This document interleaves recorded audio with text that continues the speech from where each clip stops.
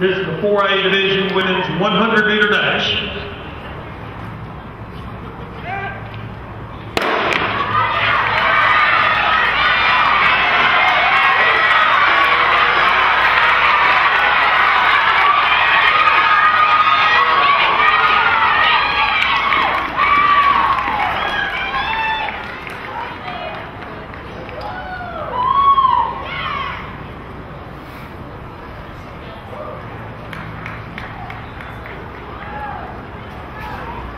Barlow from Borger in third place, 1280.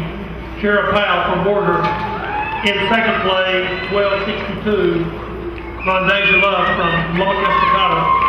And in first place, 1243, Tammy Matthews from Big.